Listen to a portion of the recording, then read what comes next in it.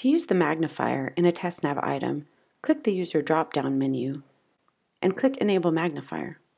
You see a square in the center of the screen. Hover over the square and then click and drag it around to see parts of your question magnified. You can release your mouse at any time to release the magnifier, to leave it on a certain word or a part of a sentence that you want magnified. To continue moving it around, click and drag again anywhere on your screen. You can move the magnifier around freely as often as you like. You can also choose answers to your question and then grab your magnifier, click and drag to see that answer magnified. If you want to disable the magnifier, click the user drop down menu again and click disable magnifier.